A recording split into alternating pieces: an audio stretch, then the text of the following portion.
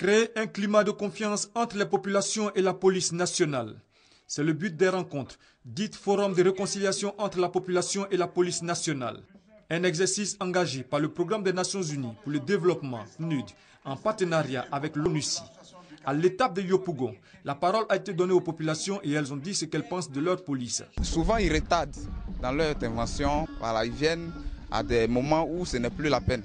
Lorsqu'on va faire les papiers, il y a des retards. Mais avec ces séminaires, il faut que la police améliore. Prenant la parole, les officiers de police ont déploré l'ignorance des populations des règles de droit. Toute chose qui, selon eux, les conduit à mépriser les policiers ou à les corrompre. Aux policiers, ils demandent une bonne conduite. Aujourd'hui, l'Ivoirien passe plus à la facilité qu'à effectivement l'application des textes.